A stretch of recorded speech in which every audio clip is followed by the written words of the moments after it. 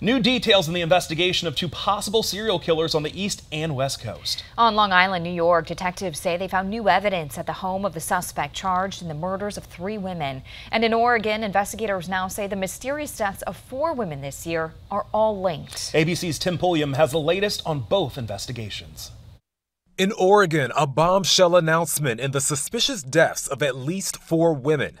After investigators first said the murders of Kristen Smith, Charity Perry, Bridget Webster, and Ashley Real were unrelated, now acknowledging they believe the killings are all linked.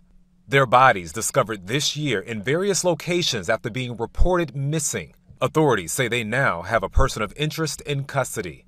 The district attorney's office hasn't elaborated on how he might be connected to the victims who were killed, but said they've conducted several interviews and the investigation is ongoing. The revelation in Oregon comes just as investigators in New York expand their search for evidence in the Gilgo Beach serial killings. Crews in Chester, South Carolina, searching a property owned by Gilgo Beach murder suspect Rex Heuermann. Authorities say this Chevy pickup truck is linked to the investigation. Police in Long Island believe Heuermann is the suspect in the 2010 murders of three women who worked as escorts Melissa Barthelemy, Megan Waterman, Amber Costello, and is a prime suspect in the killing of Maureen Brainard Barnes. Their bodies found wrapped in burlap along Gilgo Beach. Police have been searching for evidence in Heuermann's Long Island home and say they retrieved more than 200 guns. How concerning is that, that he had that kind of an arsenal?